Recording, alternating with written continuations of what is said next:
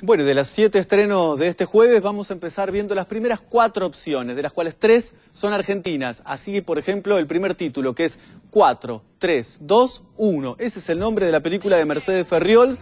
Habría que comenzar diciendo que es casi como cine contemplativo, cine experimental. ¿Por qué digo esto? Hay cuatro mujeres, no se aclara muy bien cuál es la relación entre ellas, solo que están con una urna, cenizas, alguien ha muerto y a partir de ahí, con un guion que no debe pasar de los tres renglones y una bellísima fotografía y gran banda de sonido, se articulan los 80 minutos. Para pocos, interesante desde lo visual.